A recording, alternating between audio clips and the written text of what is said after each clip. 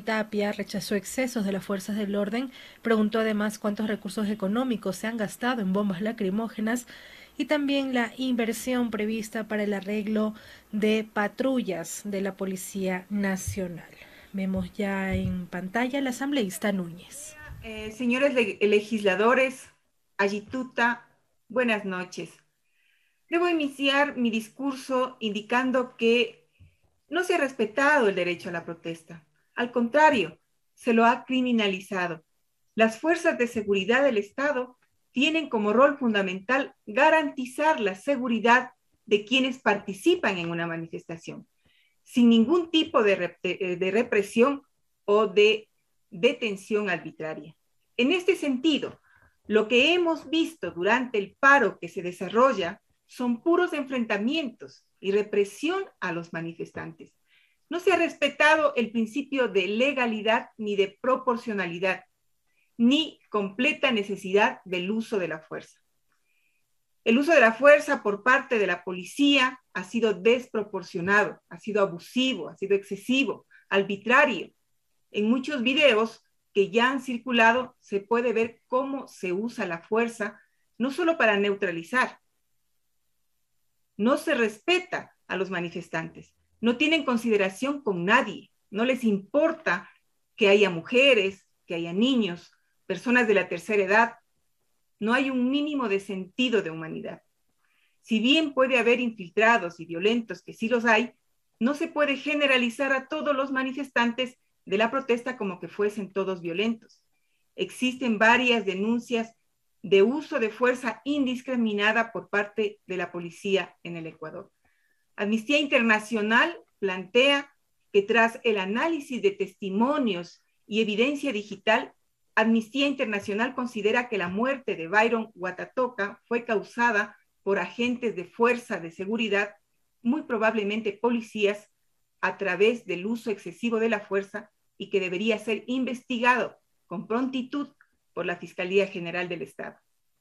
Yo quisiera preguntarle al señor ministro, ¿qué es lo que él ha planteado con respecto al uso de las armas que según él decía que no estaban dentro de la dotación que tiene asignada? Yo le pregunto al señor ministro, y ojalá se pueda hacer eh, de una manera mucho más eh, eh, pronta, si se puede decir, le preguntaría yo al ministro el 17 de junio, aproximadamente a las seis y cuarto de la tarde en la ciudad de Riobamba, a la altura de las calles Tarqui y 10 de agosto, se procedió a disparar una arma con munición múltiple, es decir, con perdigones, y se dio mal uso también a las bombas lacrimógenas, vulnerando a 20 personas.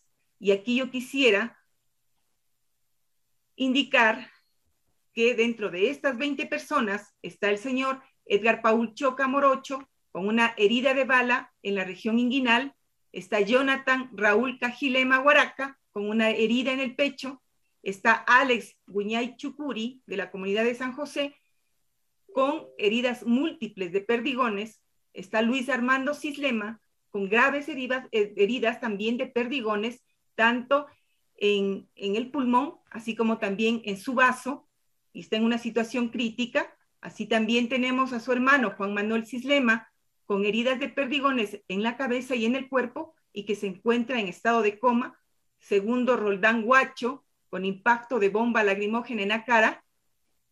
Segundo, Malán con impacto de bomba eh, lacrimógena también en la cara. José Cela con un impacto de bomba lacrimógena en el pecho.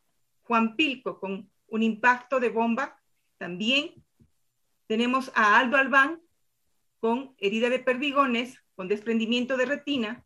Jorge David Hidalgo, que se encuentra también herido y que se encuentra en la UCI. Jonathan Raúl Cojilema. Tenemos a Juan Tuabanda con herida de golpe en la cabeza. Rodrigo Currul también con laceraciones. Pablo Yambal, que perdió su ojo por un impacto de bomba lacrimógena, José Valenzuela, con ocho perdigones en su cuerpo, Guillermo Taipe, con perdigones en sus manos, Kevin Lata está en observación en emergencia y Anderson Valla con perdigones en sus piernas y en sus brazos. Nos preguntamos que si no fue la policía, entonces, ¿quién fue el que disparó? Y queremos que entonces nos den una respuesta, porque según el, el señor eh, ministro del Interior, él plantea que no se utilizaron este tipo de armas, que no, no, estaba, no está permitido utilizar este tipo de armas con munición múltiple. Entonces, ¿quién lo hizo? Y queremos también hacerle una pregunta al ministro de Defensa que nos responda ¿Por qué antes de declarar estado de excepción se dio la orden de un despliegue de las Fuerzas Armadas? ¿Y por qué lo digo? Porque hay testigos de que en este episodio posiblemente se desplegaron dichas fuerzas del orden y posiblemente fueron ellos quienes dispararon. Hoy el ministro de Defensa se lava las manos y nos dice que son héroes del país, que son ellos los que han sido violentados, y el ministro del Interior plantea, y lo vuelvo a decir, que jamás se hizo uso de la fuerza. Ya conocemos este discurso. Esa es la forma de actuar del mismo gobierno que nos mienten, nos mienten continuamente y creen que pues el pueblo ecuatoriano va a seguir creyéndose estas mentiras. Pedimos que se haga justicia y que estos actos no queden en la impunidad. Por esa razón, estamos de acuerdo en que se le llame nuevamente al ministro para que de alguna manera nos responda con respecto a esto, porque de lo contrario las cosas no pueden quedar en la impunidad. Muchas gracias, señora presidenta Yupaichan. Gracias, asambleísta Patricia Núñez. Tiene la palabra.